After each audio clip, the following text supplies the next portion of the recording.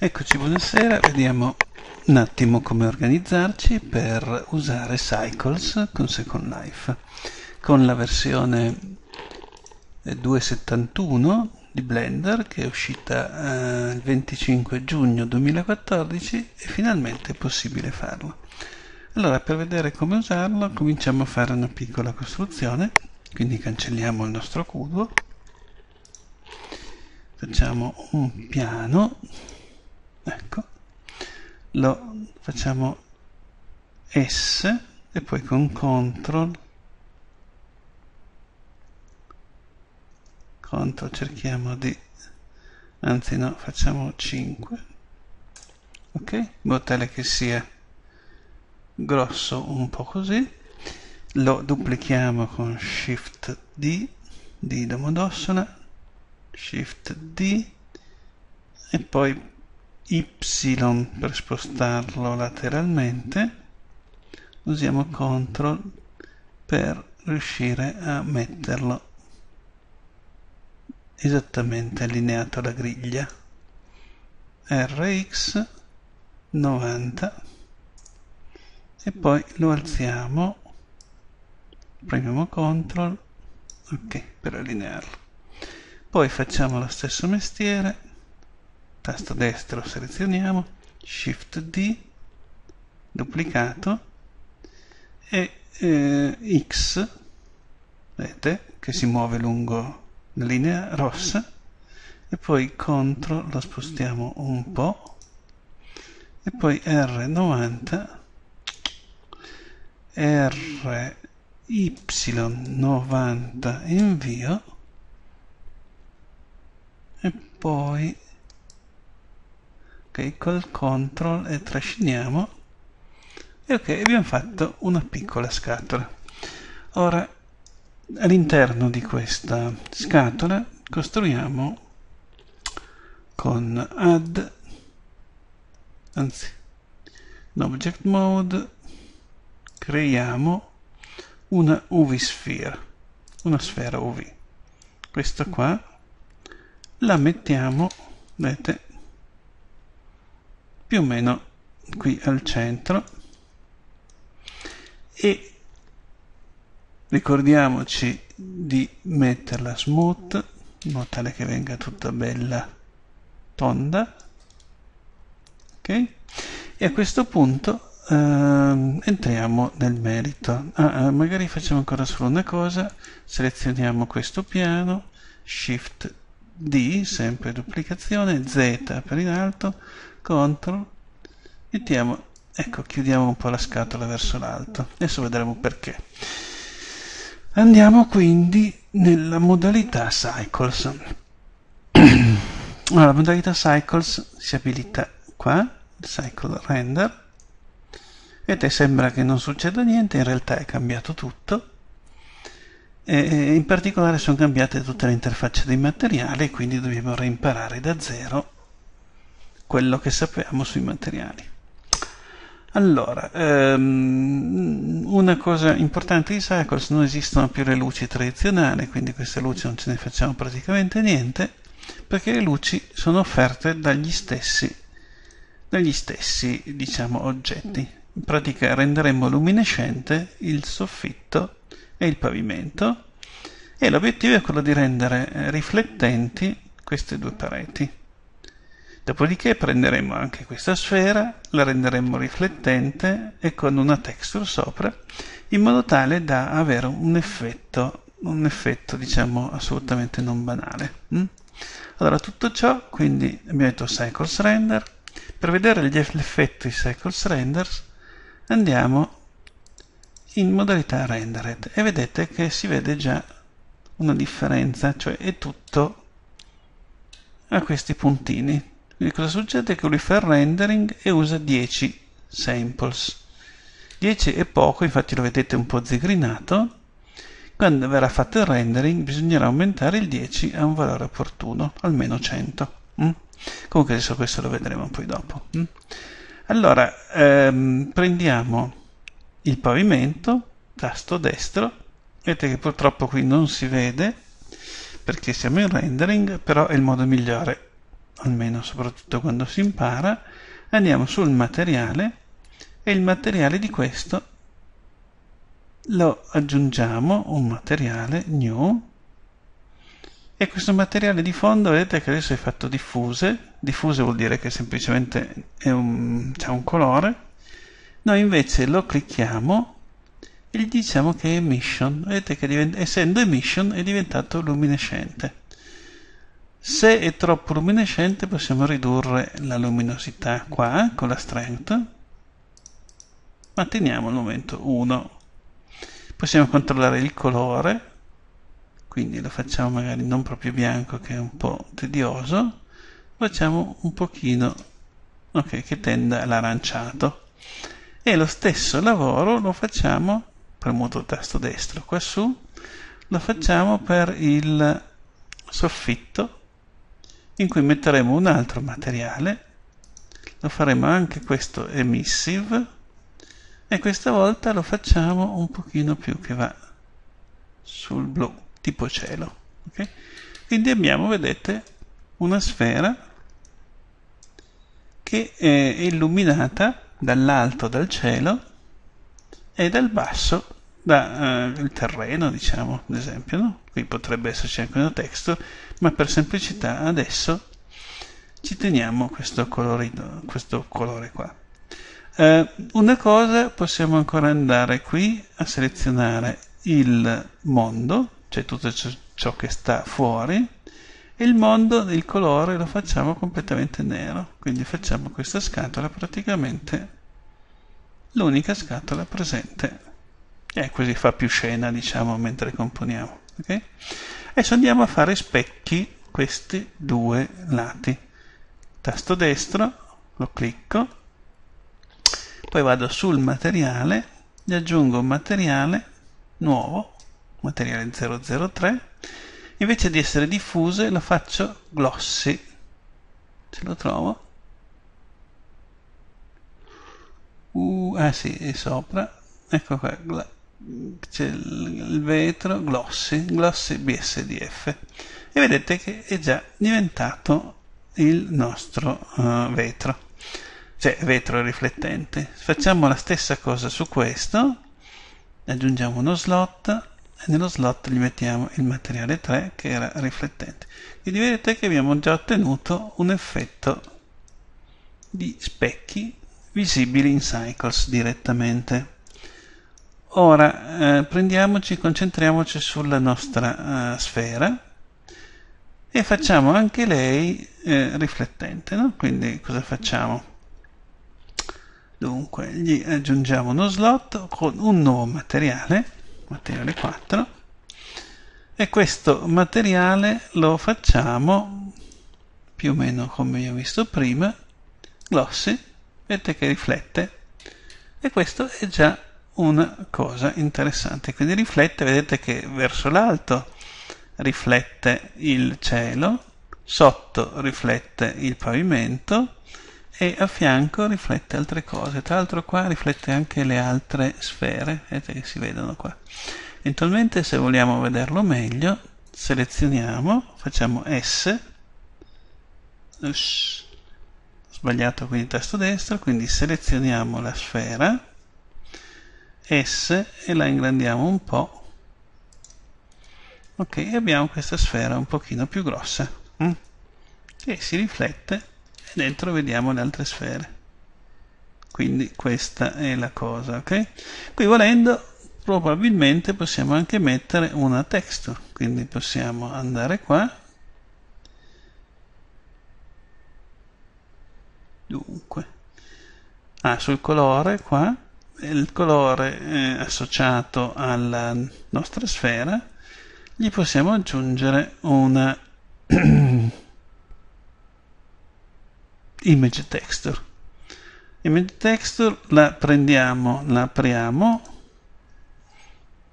dal nostro uh, e ci mettiamo per esempio un'immagine di una luna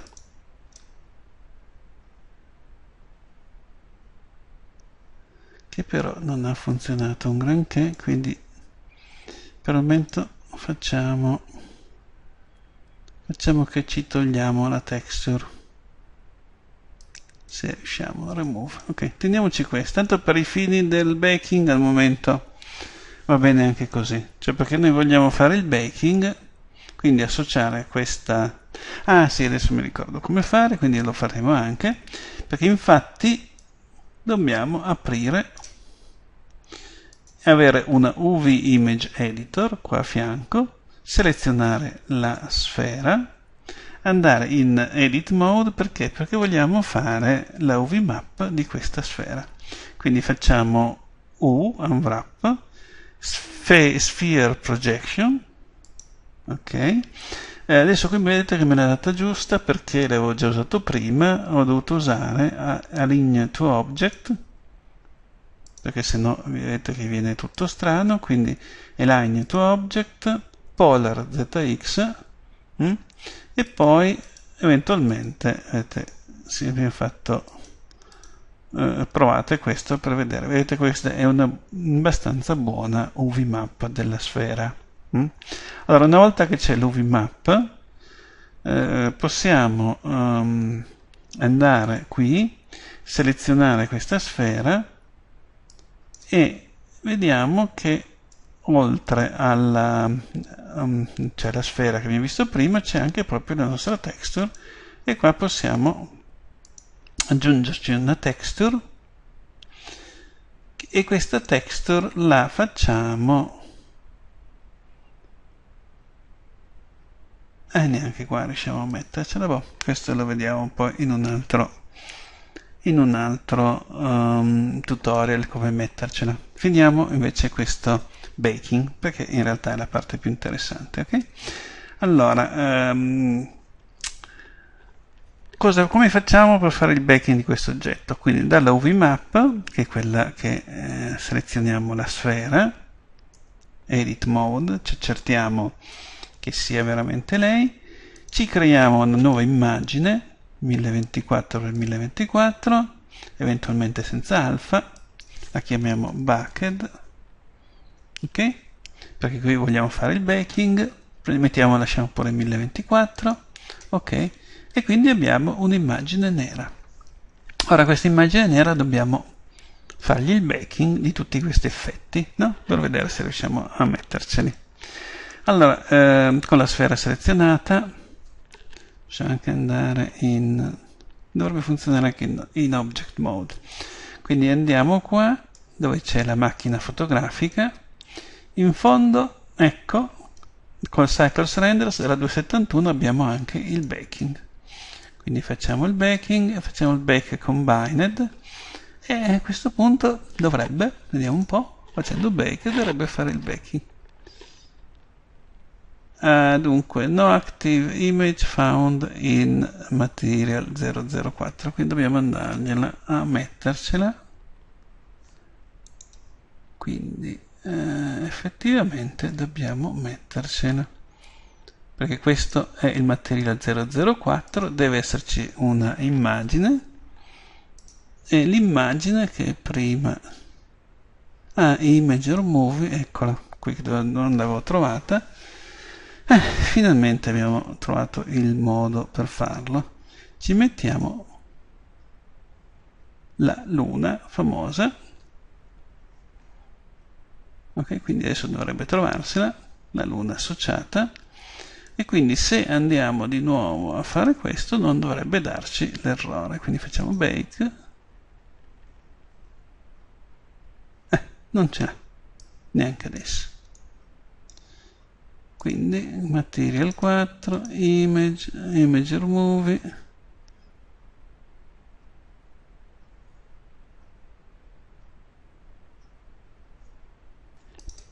Ok forse ho trovato.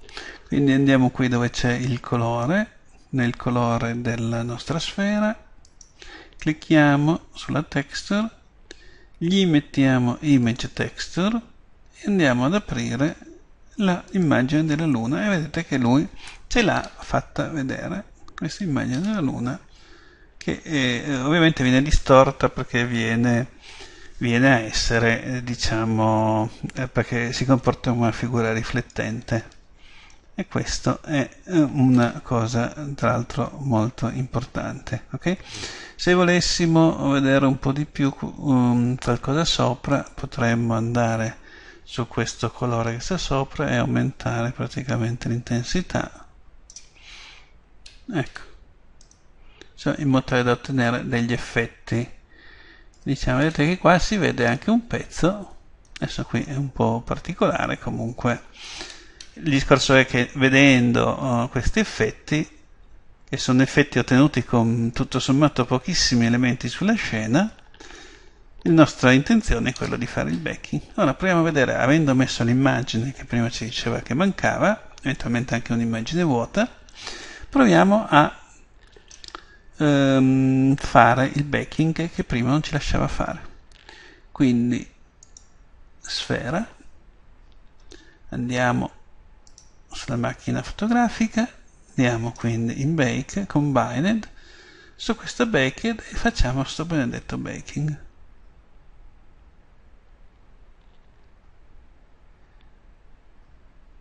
Ok, come vedete l'immagine l'abbiamo ottenuta, anche se ehm, ma potrebbe anche andare in teoria per Second Life, però vedete che un pochino sgranata lo è. Ehm, come fare per ottenere un'immagine meno sgranata?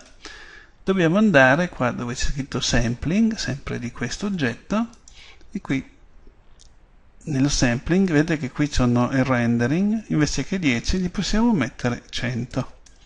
Mettendo 100 automaticamente quando si fa il baking lui usa una risoluzione 10 volte superiore, quindi dovrebbe rendere eh, l'immagine un pochino più definita.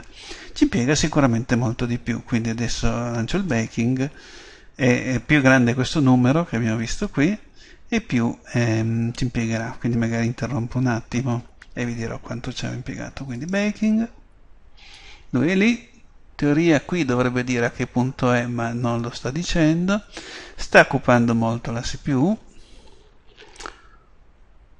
qui dobbiamo dargli il tempo di fare questo baking. Ok ci ha impiegato circa un minuto. E vedete che adesso abbiamo un'immagine che è leggermente meglio anche se insomma relativamente perché dipende dalla risoluzione iniziale quindi non è detto che eh, sia conveniente aumentare i samples. Adesso ci piega tanto comunque perché ci sono tante superfici riflettenti e come vedete è molto oh, diciamo cioè, riesce a rendere quello che succederebbe nella realtà. Eh, qui diciamo che eh, ai fini pratici possiamo tornare a mettere 10 ehm, e ehm, l'immagine comunque prodotta possiamo salvarla image save as image e usarla poi per portarla in second life. Questo è il grande vantaggio di Blender 271 rispetto a prima. E ovviamente dobbiamo esportare anche la sfera quindi prendiamo la sfera dobbiamo fare file export con l'ADA ricordiamo di mettere SL più OpenSim static la salviamo adesso non lo faccio ma è giusto farvi vedere che esce. E poi usciamo anche con quella. Ora quello che volevo farvi vedere è anche la possibilità di fare anche altri effetti. Per esempio possiamo mettere il, um, la O quindi possiamo dire anziché combined combined vuol dire che prende tutto possiamo fare l'ambient occlusion. Se facciamo l'ambient occlusion cioè le shadow vedete che adesso noi dovremmo impiegarci relativamente poco ci fa vedere le ombre. E vedete che sotto è tutto un po' bianco e sopra ci sono queste ombre. Vedete che c'è questo effetto. Perché abbiamo 10 se al posto di 10 mettiamo um, 100 dovrebbero venire meno, uh, anzi facciamolo proprio l'esperimento invece che, no facciamo 50 eh? quindi ci impiega in maniera cosa un pochino più umana sempre tanto quindi ci impiegherà mezzo minuto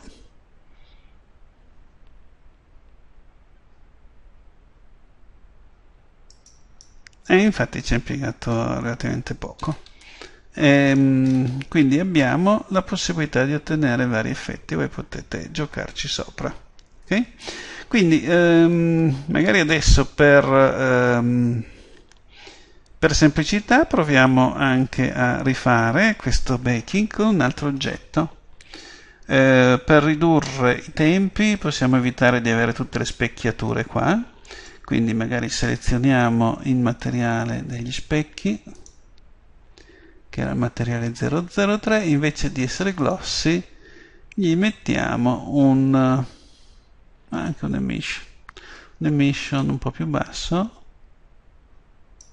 ok, e lo coloriamo.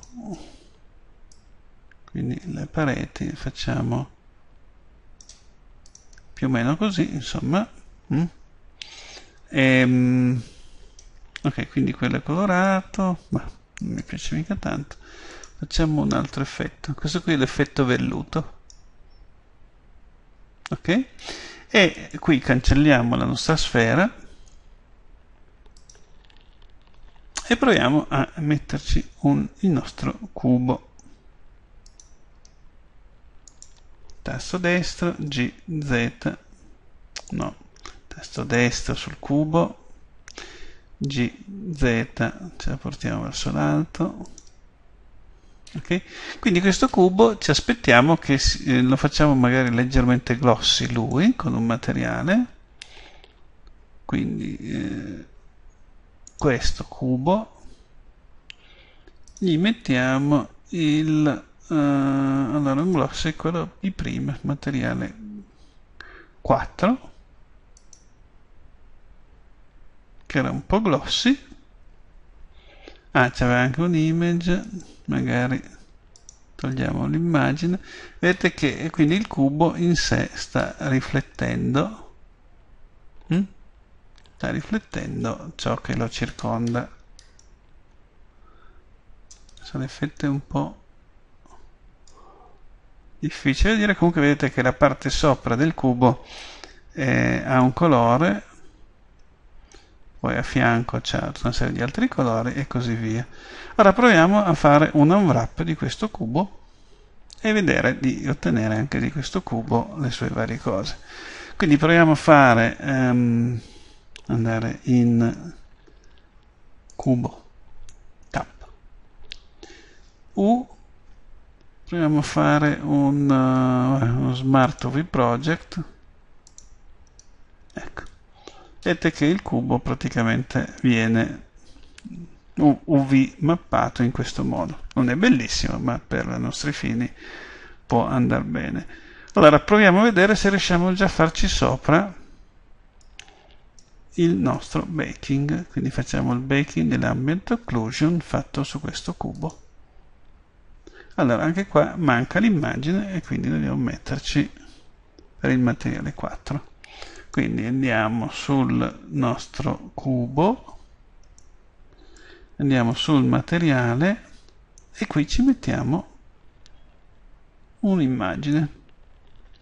Uh, boh, possiamo metterci anche un'immagine tipo questa vedete che è ricalcolata dovrebbe in teoria essere sufficiente. Vediamo un po' se funziona. Andiamo facciamo bake dell'ambient occlusion. No non andava bene. Eh, questo è da studiare un attimino. Quindi andiamo. Non lavare noi ma image texture. E l'image texture gli mettiamo l'immagine. Per esempio questa. Ok? Quindi abbiamo visto prima che questo gli piaceva. Facciamo cubo. Proviamo a fare di nuovo il baking eh, adesso non si è arrabbiato. Attenzione che stiamo facendo l'ambient occlusion. E vedete che ci fa soltanto le ombre e sono soltanto in questa fase. Vedete che c'è l'ombra sopra luminosa, laterale eccetera. Cioè proprio le shadow. Se vogliamo invece vedere il combined come prima facciamo il baking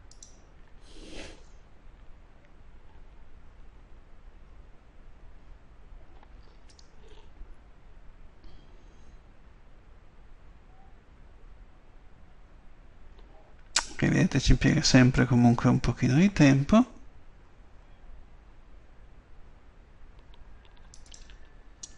ed ecco che ha fatto il backing del nostro uh, oggetto ok quindi c'è praticamente ha fatto tutte le quattro facce con le, eh, le cose che ci sono mm? eh, qui stessa cosa di prima possiamo esportare questo oggetto questa immagine e finalmente applicarla in Second Life. Ora gli effetti eh, questo è solo didattico nel senso che per ottenere degli effetti degni di nota aspetterei un altro video dove vi faccio vedere un esempio realistico. Però comunque eh, la cosa interessante è la possibilità ehm, di eh, fare, di generare queste immagini e di poterle poi esportare quindi ripeto al momento questo è poco più che un divertissement che mi sono fatto. Cercherò poi di fare degli esempi pratici facendo proprio dei tessuti e provando a generare anche delle normal map o delle eh, specular map, insomma tutte quelle cose che servono per dare un'immagine un po' migliore, tipo un po' le cose che abbiamo fatto con Render Engine, il Blender Render, però fatte con Cycles. Ok, ci sentiamo quando ai prossimi tutorial.